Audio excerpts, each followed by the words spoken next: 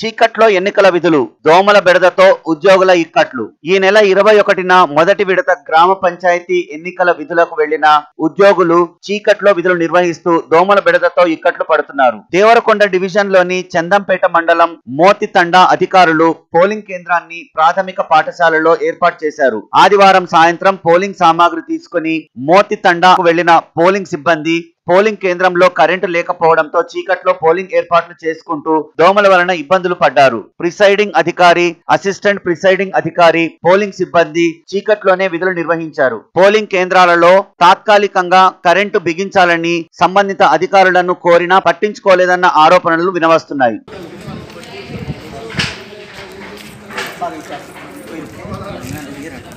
రాణిస్తలేదు అసలు లోపలికి రాణిస్తలేదు.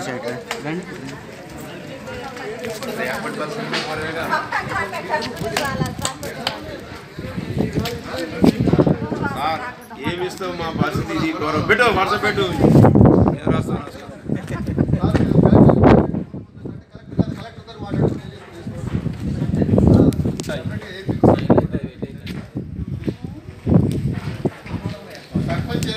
కూడా పరిధి సార్ రెవెన్యూ పరిధి అదే రెవెన్యూ పరిధి కాదు కానీ డిస్టిక్ లెవెల్లో కలెక్టర్ ¿Qué es lo